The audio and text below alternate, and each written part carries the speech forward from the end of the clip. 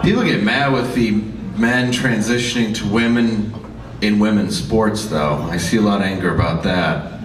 I will say, though, if I was to compete as a woman, it wouldn't make any difference whatsoever.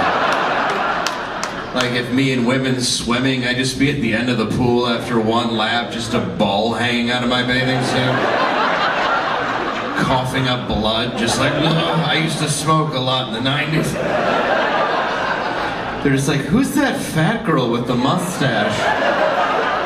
I think she has emphysema. She's not even trying. Yeah, I'm just gonna go to the locker room and wash my tits.